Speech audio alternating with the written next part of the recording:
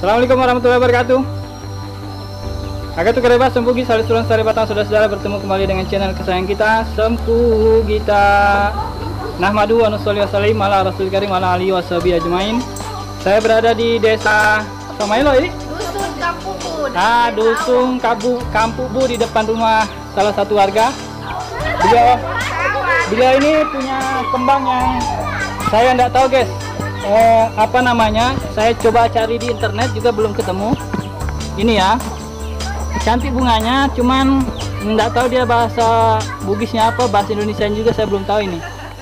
Apa namanya? Kemudian yang ini guys. Apa namanya tadi teman dong? Ya, Ya. Nah ini bunga bunga temandong ya, kenikir, kenikir ya guys, kenikir ya.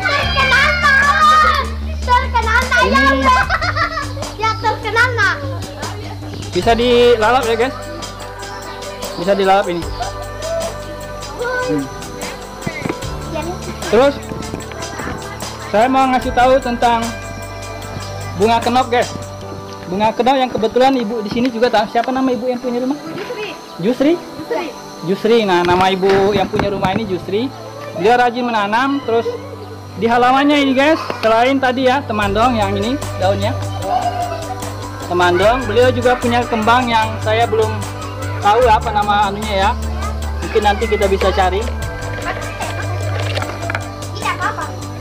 Nah, ini bunga ini guys. Nah, ini ya bunga kenop. Saya pernah lihat di Facebook, di Google juga. Ini namanya bunga kenop. Saya sudah izin tadi sama ibu. Saya bilang saya petik satu untuk saya perlihatkan. Ini ya. Nah ini daun dan bunganya ini saya pernah baca ada manfaatnya untuk kesehatan.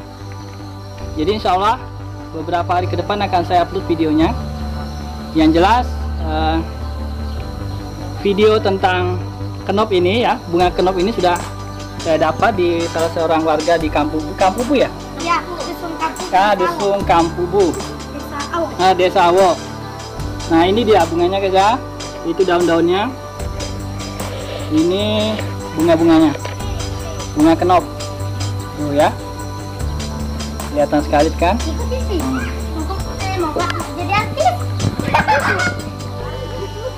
Terus ini ya, oh, kurang kurang jelas ya. Coba dari sini. Nah, ini cukup jelas. Cukup jelas ya guys. Jadi bunga kenop ini bermanfaat bagi kesehatan dan saya akan cari informasinya lagi nanti di internet. Ini banyak juga nih ibu-ibu ini tanam. Ya, kelihatan ya. Nah, itu saya saya rasa ini bunga dan daunnya nih guys. Nggak tahu ini kalau akarnya bisa tidak dipakai untuk pengobatan atau untuk kesehatan. Hah? Apalagi nah ini juga nih. Nih. Ya, sama yang tadi ya ini. Ya, bunga temandong. Enggak, ini bukan. Ini Ini sama. Kalau ini sama Ya, juga itu. ya itu teman dong.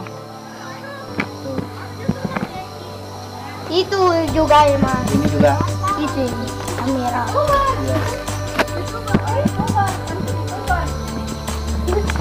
Oke nih ya, anak-anak yang eh, warga di sini. Ya ini. Sekarang saya jualan di daerah sini guys. Ya, berapa bahasa saya.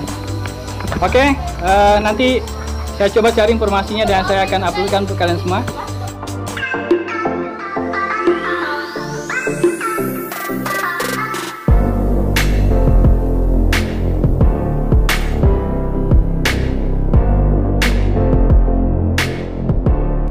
Inilah manfaat bunga kenop yang luar biasa guys jika kita mengolahnya dengan benar. Yang pertama mengobati luka terpukul dan koreng. Nah, caranya siapkan bunga kenop secukupnya, kemudian dihaluskan dan ditempelkan pada bagian yang sakit. Yang kedua, dapat melancarkan buang air kecil dan mengobati sakit atau disuria. Dengan cara siapkan 10 gram bunga kenop. Bunganya ya 10 gram, 30 gram rambut jagung. Nah, rambut jagung nih yang direbus dengan 400 cc air hingga tersisa setengahnya yaitu 200 cc. Lalu disaring dan airnya diminum. Jadi 10 gram bunga kenop, 30 gram rambut jagung direbus dengan 400 cc air sehingga tinggal tinggal 200 ya setengahnya baru disaring dan airnya diminum. Ini untuk melancarkan buang air kecil dan mengobati sakit. Yang ketiga mengobati penyakit disentri caranya itu siapkan 10 kuntum bunga kenop segar 30 gram krokot segar yang direbus dengan air secukupnya. Lalu disaring dan diminum secara rutin. Lakukan tiga kali sehari. Atau siapkan 10 kuntum bunga kenop dan 30 gram patikan kebo yang direbus dengan 500 cc air sehingga tersis setengahnya yaitu 250 cc. Setelah dingin disaring dan airnya diminum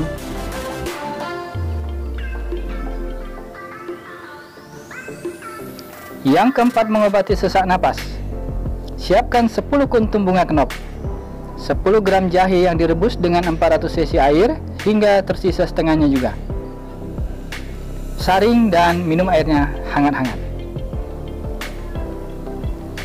Yang keempat mengobati radang saluran napas kronis. Caranya yaitu siapkan 10 kuntum bunga kenop, 15 gram kaktus yang telah dikupas kulitnya, 10 gram jahe, gula batu secukupnya, direbus dengan 600 cc air hingga tersisa 300 cc. Kemudian airnya disaring dan diminum hangat-hangat.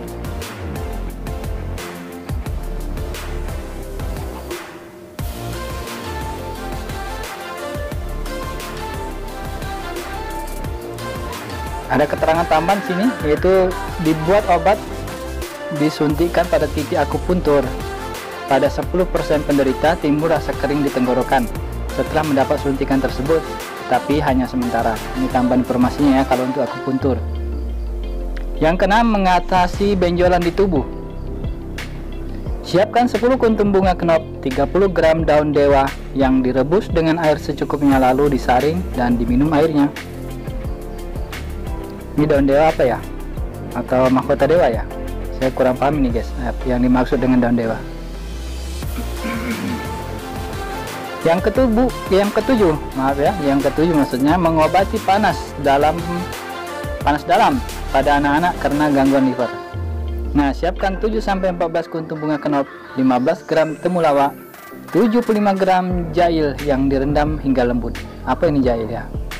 Kemudian direbus dengan 250 cc air hingga tersisa 300 cc nya lalu disaring dan diminum airnya dengan menambahkan madu secukupnya. Sedangkan ja jalinya, apa ini maksudnya? Oh, jali, jalinya dimakan. Yang kedelapan mengobati perut kembung pada anak-anak. Nah, siapkan 5 sampai 10 kuntum bunga kenep kering, 5 gram jahe yang direbus dengan 400 cc air hingga tersisa 200 cc, disaring lalu airnya diminum. Yang kesembilan, mengatasi masalah anak-anak yang sering kaget. Oh, ya ya, jadi anak-anak yang sering kaget ini ada nih solusinya nih. Jadi siapkan 5 sampai 10 kuntum bunga kenop, 20 butir biji teratai. Oh, pakai biji, biji teratai ya. 50 eh 5 butir angco. Apa ini angco? Gula batu secukupnya, kemudian direbus dengan air secukupnya lalu airnya diminum. Sedangkan biji teratai dan angconya dimakan. Yang ke-10 mengobati mata yang kurang tajam dan kurang terang serta mata merah. Hmm, gitu ya. Jadi siapkan 15 kuntum bunga kenop, 30 gram bunga krisan yang direbus dengan 500 cc air hingga tersisa setengahnya. Tambahkan madu secukupnya lalu saring dan diminum airnya hangat-hangat. Yang ke-11 mengobati sakit kepala dan migrain. Siapkan 10 kuntum bunga kenop, 10 gram jahe, 60 gram lidah buaya yang telah dikupas kulitnya, kemudian direbus dengan 500 cc air hingga tersisa setengah. Lalu disaring dan diminum airnya hangat-hangat. Atau dengan menyiapkan 15 gram bunga kenop dan 10 gram bunga krisan yang direbus dengan 400 cc hingga tersisa 200 cc. Disaring lalu diminum. Nah ini dikutip dari beberapa sumber ya guys. Saya dapat dari lamannya m.g2news.com jadi begitu ya cara mengolahnya meraciknya jadi cukup banyak manfaatnya dari bunga kenop ini bukan hanya bunganya yang cantik tapi rupanya bunganya ini punya banyak manfaat juga bagi kesehatan semoga dengan informasi ini kalian tidak menyia-nyiakan apabila tanaman ini ada di sekitar kalian ya apalagi jika kalian menderita penyakit seperti yang telah saya sebutkan tadi. Terima kasih sudah menonton. Jangan lupa jika kalian suka video seperti ini, tinggalkan jejak like. Jika tulisan subscribe kalian masih berwarna merah, silahkan sentuh untuk mendukung channel ini untuk terus semangat berkaya dan icon lonceng untuk mendapatkan notifikasi terkini dari video-video yang Terima kasih sudah menonton. Jangan lupa like, subscribe, dan tinggalkan komentar jika ada yang ingin kalian sampaikan. Jazakumullah salam jazak. Assalamualaikum warahmatullahi wabarakatuh.